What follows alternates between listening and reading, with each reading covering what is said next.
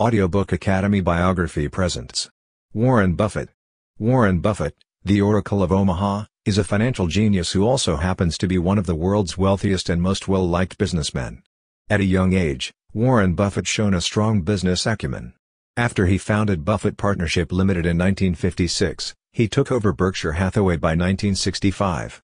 Being in charge of an empire that included media, insurance, energy, as well as food and beverage companies, Warren Buffett rose to fame as a generous donor and one of the world's wealthiest men. Childhood Warren Buffett was born in Omaha, Nebraska, on August 30, 1930. Howard Buffett was a stockbroker and a member of the United States Congress. Leila Stahl Buffett, his mother, was a stay-at-home mom. There were three children in the Buffett family, with Buffett being the lone boy. It was stated that the boy was an early mathematical prodigy who could mentally add vast columns of numbers. This is something he periodically proved in his later years, when he showed an aptitude for financial and economic problems.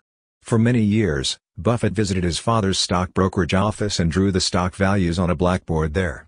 At the tender age of 11, he purchased three shares of City Service Preferred at a price of $38 each. Buffett hung on until the price rose to $40, despite a sharp plunge to just $27.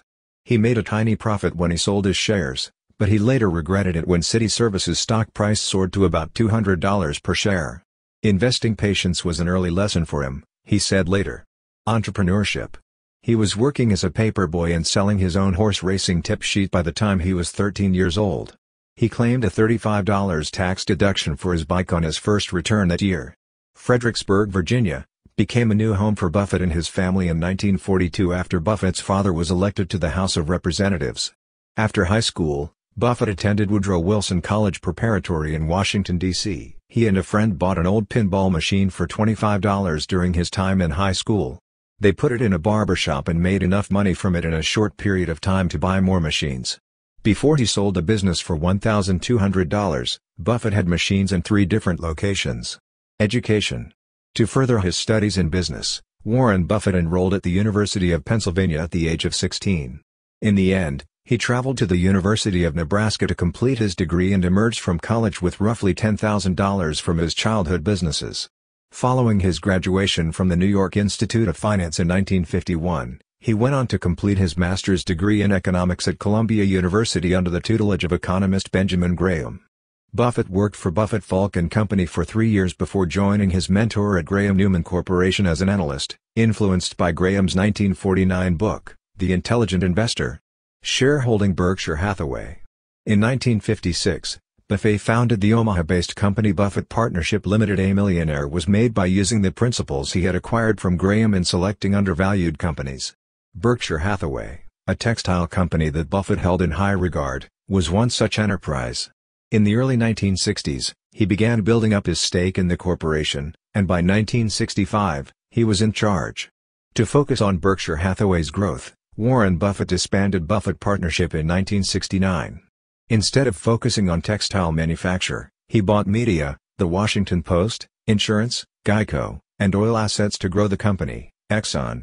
The Oracle of Omaha was so successful that he even managed to turn seemingly bad investments into gold, most notably with his purchase of Salomon Brothers in 1987.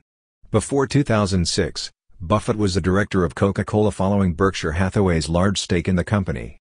Furthermore, he has served as a director of Graham Holdings, Citigroup, and the Gillette Company. Legacy and charitable endeavors. To the delight of the world, Warren Buffett announced in June 2006 that he would be giving away his entire fortune to good causes, with the Bill and Melinda Gates Foundation receiving the lion's share. This donation was the largest in U.S. history in terms of philanthropic giving.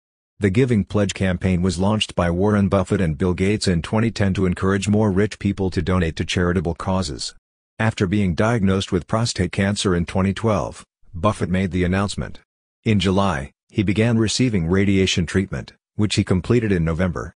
Despite the health concern, the octogenarian continues to rank among the world's wealthiest people, according to Forbes. Buffett and private equity firm 3G Capital purchased H.J. Heinz in February 2013 for $28 billion. Battery maker Duracell and Kraft Foods Group, which in 2015 combined with Heinz to form the third largest food and beverage corporation in North America, were later Berkshire Hathaway acquisitions.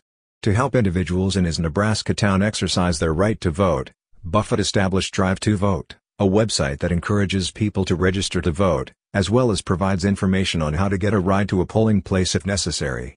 Buffett has been an outspoken backer of Hillary Clinton, whom he endorsed in 2015, and he has also challenged Donald Trump to meet and reveal their tax returns. I will meet him in Omaha or Mar-a-Lago or, he can pick the place, anytime between now and the election, he declared at a rally in Omaha on August 1. Then he'll bring his return, and so on. We're both being audited at the same time. And no one is going to stop us from talking about what's on those returns, trust me on that. He declined, but his refusal to release his tax records ultimately did not prevent him from becoming President of the United States during the 2016 election. Warren Buffett made the announcement in May of this year that he had began selling some of his IBM stock, saying that six years previously he had valued the business far more highly than he does now. A further sell in the third quarter reduced his holdings in the company to roughly 37 million shares total. By exercising warrants for 700 million shares, he became Bank of America's largest shareholder and raised his position in Apple by 3%. Berkshire Hathaway's largest common stock holding was now Apple, thanks to Warren Buffett's purchase of more shares. Since 2006, Berkshire Hathaway CEO Warren Buffett has donated about $28 billion to charitable causes, according to USA Today. Venture in the healthcare sector. JP Morgan Chase and Amazon released a joint press statement on January 30, 2018, in which the three companies stated that they would launch a new healthcare firm for its employees in the United States. An initial focus on technology solutions was stated in the statement, which stated that profit-making incentives and restraints will be removed from the company's efforts to lower costs and enhance the whole process for patients. We believe that, over time, investing in the country's top talent will help control healthcare costs while simultaneously improving patient happiness and results. Buffett likened rising healthcare prices to a hungry tapeworm eating away at the U.S. economy. Reports surfaced in March stating that the second-largest residential brokerage in the United States, Berkshire Hathaway's Home Services of America Incorporated, was planning to take more steps toward the top slot, which was held by Realogy's NRT LLC. During Berkshire Hathaway's acquisition of Mid-American Energy Holdings Companies, Home Services in 2000, Warren Buffett admitted he barely noticed the acquisition.